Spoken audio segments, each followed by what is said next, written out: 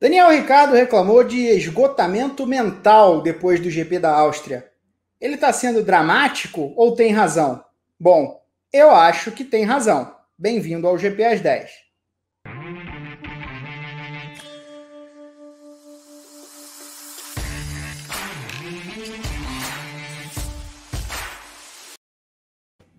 Ah, e aí, rapaziada, tudo bom com vocês? Pedro Henrique Marum aqui GP às 10, sexta-feira de manhã, dia 9 de julho de 2021.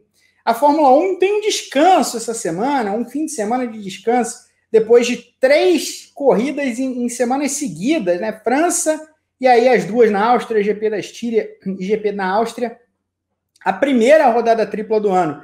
Mas vai ser um ano com quatro rodadas triplas, com o calendário que está posto. Eu separei aqui temos Bélgica, Holanda, Itália, depois Rússia, Turquia, Japão e Estados Unidos, México e Brasil, num calendário que ainda mantém os planos para 23 corridas. Claro que pode haver uma mudança ali na, na no desenho no calendário mais para o final, inclusive na data do GP do Brasil, por conta do, da desistência do Japão, ou melhor, da desistência da Austrália em organizar o GP desse ano, há uma dúvida quanto ao Japão, e há a expectativa ou a possibilidade de, de repente, uma rodada dupla nos Estados Unidos. Então pode haver uma mudança, mas com o calendário que está posto, o desenho é esse. São três rodadas triplas. E além dessas três rodadas triplas, é um sem número de, quatro, de três corridas em quatro semanas, quatro corridas em cinco semanas e, e coisas assim especialmente nesse segundo semestre. Então, o Daniel Ricardo terminou na Áustria e falou que terminou com esgotamento mental para a sequência da temporada. Né? Então, que ele precisava de uns dias mesmo para descansar. Claro que tem gente que vai maldar essa, essa declaração, porque o Ricardo não está fazendo uma boa temporada, porque o Ricardo está tendo dificuldades em pegar o carro da McLaren, porque o companheiro de equipe dele, o Lando Norris, faz um ano primoroso, muito acima dele. Isso tudo é verdade. Agora, também é verdade que o Ricardo fez provavelmente a sua melhor corrida do ano nesse GP da Áustria. Então não faria tanto sentido assim ele sair dando desculpas. E mesmo que seja o caso, não importa, porque não é exatamente do Ricardo que eu quero falar. Eu quero usar o Ricardo como plano de fundo, porque eu acho que ele levantou um ponto que é muito importante nessa Fórmula 1, maior do que nunca. E nessa Fórmula 1, que tem sim planos de aumentar seu campeonato nos próximos anos. Isso tudo é, é verdade. A gente está falando de um Mundial que já é extremamente desgastante. E só foram nove etapas de 23, tem 14 pela frente, de, de acordo com o meu abaco. 14 corridas mais duas nas próximas semanas, e aí tem o um recesso de verão na Europa. Depois do recesso de verão, serão 12 corridas em três meses e meio, incluindo três rodadas triplas.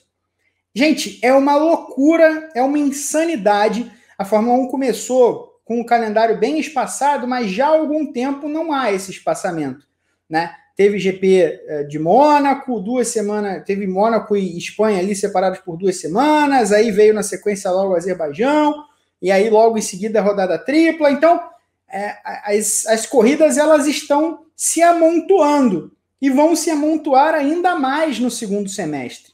E por que, que eu falo disso? Eu falo disso porque eu acho que vai ser um fator no campeonato. Vai ser um fator no campeonato. Eu não sei exatamente com quem, eu não sei exatamente quando. Vai ter gente que vai levar vantagem e vai ter gente que vai levar desvantagem.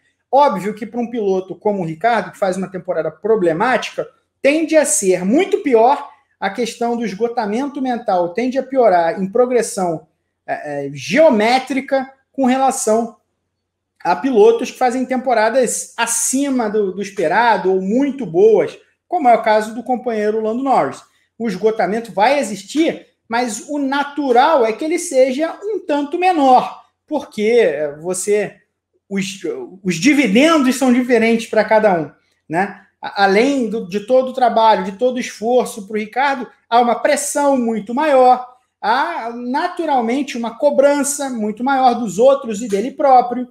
porque ele não vem bem. Então, numa realidade que a gente, que a gente consegue multiplicar corridas, né? A, a realidade desse ano é de corridas multiplicadas com relação a um passado nem tão distante assim, onde você tinha 16, 17, 19 corridas. Pode parecer bobagem, mas a diferença entre 19 e 20 para 23 é muito grande. É muito grande, especialmente adicionadas onde estão essas corridas. Grande parte delas no segundo semestre. Até 2019, a maior parte do campeonato era antes do recesso de verão, né? Você tinha ali 11 de 20 corridas ou, ou 11 de 21 corridas na primeira parte. O calendário aumentou e, e a primeira parte dessa, dessa, desse, desse calendário ele continua tendo 11 corridas. O que aumentou muito, o que aumentou em duas, em três corridas, foi a segunda parte.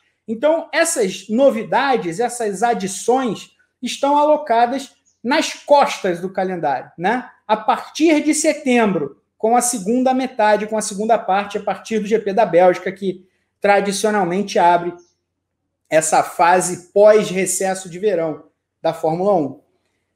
Então é natural que os pilotos vão ter de lidar com uma, um cansaço maior, não só físico, mas mental mesmo, porque o cansaço físico, ele existe, mas o, cansa o cansaço físico é aquilo. Você descansa, você dorme, você faz um trabalho aqui, ali, um trabalho voltado especificamente para a sua questão física, uma recuperação específica, e você consegue se recuperar. O cansaço mental, ele não é tão superficial, ele é mais difícil de recuperar. E mais lá para frente nesse campeonato, a gente vai ver um aumento no número de erros, de erros mais sérios e mais leves, de erros é, de pilotos errando, não só alguns vão errar mais, esses erros não estarão concentrados, eles estarão abertos, amplos no grid. Isso vai acontecer, eu estou garantindo a vocês que isso vai acontecer, porque é um reflexo natural de um calendário que é, é muito extenso e o Liberty Media quer tornar quase desumano, com corridas com 25, 26 corridas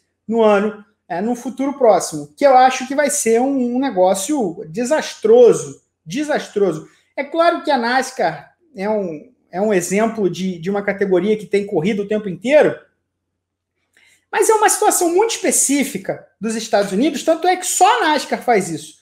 Né? Nem, nem as outras categorias dos Estados Unidos fazem isso, nem outras categorias do mundo fazem isso. Isso é uma coisa da NASCAR. É uma, enfim, é uma tradição que pode ser explicada por diversos de diversas formas de olhar diferentes. A Fórmula 1 não é a NASCAR, a Fórmula 1 é algo muito mais profissional, muito mais atlético, muito mais. É, os deslocamentos são muito maiores. Gente, eu, eu acabei de falar aqui de uma rodada tripla: é, Estados Unidos, México e Brasil. Ah, mas o Texas ali, Austin e a Cidade do México estão próximos estão próximos, mas não tão próximos quanto duas cidades é, é, europeias, ou até muitas das cidades dos Estados Unidos que recebem corridas semana sim, semana não, é, ou, ou, em semanas consecutivas. E o Brasil também distante. Depois, Rússia, Turquia e Japão. Todas essas distâncias são gigantescas para você cobrir em uma semana é um negócio muito, muito grande, é muito, assim, é um mundo inteiro, é realmente um mundo inteiro de corridas. Algumas corridas divididas por duas semanas que são extremamente distantes uma da, umas das outras. Então, gente, a gente está falando de um calendário que vai sacrificar muito e vai causar erros.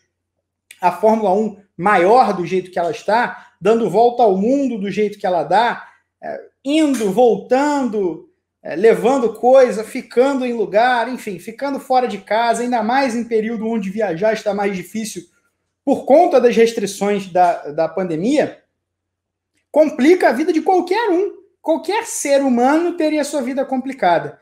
E vai cobrar seu preço. Vai cobrar seu preço. A Fórmula 1 se tornou também uma maratona, uma prova de resistência. Se transformou num transtorno mental, sim os pilotos vão ter que lidar com esse problema. E alguns vão perder pontos, posições, corridas, e alguns vão herdar pontos, posições, corridas porque não souberam ou porque souberam lidar com esse cansaço, administrar esse cansaço. Isso é uma coisa muito séria da Fórmula 1 atual e que promete se, eh, se seguir assim uma toada para o futuro, porque é o que o Liberty quer, é a visão de mercado que o Liberty Media tem. E eu digo isso não só para os pilotos, para a gente, imprensa, mesmo sem ir às corridas, mesmo sem acompanhar a Fórmula 1 o tempo inteiro, sem encarar aeroporto, o nosso desgaste em fim de semana de corrida é grande. É grande. A gente trabalha longas e longas horas, por longos e longos dias. As semanas, né, elas começam bem antes dos treinos, né, os fins de semana, com coletivas, com preparação, com discussão de material, com uma série de, de questões que precisam estar prontas na hora que tiver corrida, na hora que tiver treino. Então, a gente pensa programas, pensa conteúdo especial, acaba a corrida, acaba ali o fim de semana, na segunda-feira, a gente pensa os outros programas que a gente no Grande Prêmio pensa o Paddock GP, pensa o briefing, pensa o briefing não, o briefing já no dia da corrida, mas pensa o Paddockcast, a gente é, debate calendário de pautas para fazer análises, essas análises se somam às coisas que a gente já faz no nosso dia a dia. Então é muito desgastante. A gente está cansado. Eu estou morto já. Estou muito cansado. A gente está em julho ainda, a maior parte do, do campeonato nem veio. Então, se está desgastante para mim, imagina para os caras que estão rodando o mundo. O Daniel Ricardo tem uma outra questão por ser da Austrália, né? Ele, ele não vê a família dele há um ano. Então é óbvio que isso é um desgaste ou isso não te permite uma recuperação maior. Você tem ali, te cobra um preço mental, evidentemente, porque você não consegue ver sua família, não consegue estar entre os seus. Isso tudo tem um, tem um fator, tem um fator, é evidente que tem um fator, e vai ser uma vai ser uma, uma novidade cada vez mais representativa na Fórmula 1 atual. Conforme o calendário cresce, o desgaste dos pilotos, o desgaste mental que não se resolve com um cochilo, com uma recuperação física na piscina, vai se tornar um fator para definir, de repente, títulos mundiais, para definir é, posição de, de Mundial de Construtores de diferentes equipes baseado nos seus pilotos, nos seus mecânicos, nos seus chefes, tomadores de decisões.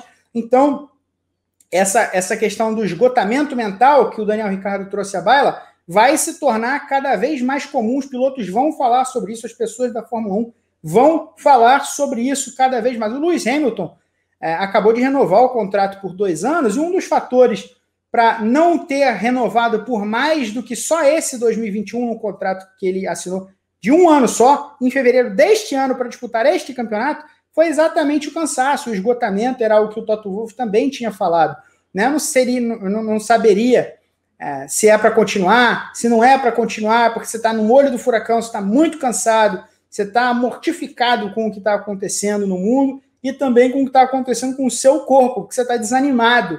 As coisas te cobram um preço e cobram para todo mundo. Então, questões de cansaço, esgotamento mental, é, isso vai aparecer cada vez mais na boca dos pilotos nos próximos meses, nos próximos anos, seguindo este calendário que não vai mudar. Então, essa, o, o calendário vai seguir crescendo por enquanto, ou pelo menos vai seguir deste tamanho e vai continuar cobrando um preço dos pilotos, sobretudo no segundo semestre. Quer dizer, no segundo semestre, pense em segundo semestre como o pós-recesso de verão da Fórmula 1, o segundo semestre da Fórmula 1, né? que foi o que cresceu exponencialmente com essas adições ao calendário. Então é muito sério o que o Daniel Ricardo falou. Queria saber o que vocês acham aqui nos comentários. Curtam, compartilhem este vídeo e sigam sempre com a gente do Grande Prêmio. Volto numa é, oportunidade mais para frente. Um grande beijo a todos vocês e até a próxima.